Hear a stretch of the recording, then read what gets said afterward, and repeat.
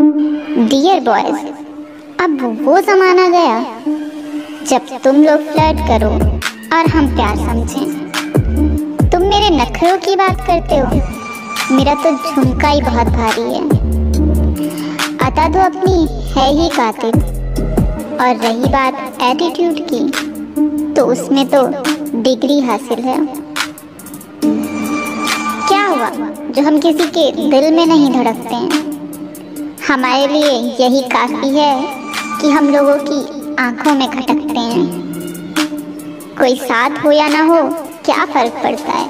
पहले भी लाइफ बढ़िया थी, और अब तो मस्त गुजर रही है। बेटा सिंगल हूँ बट नॉट अवेलेबल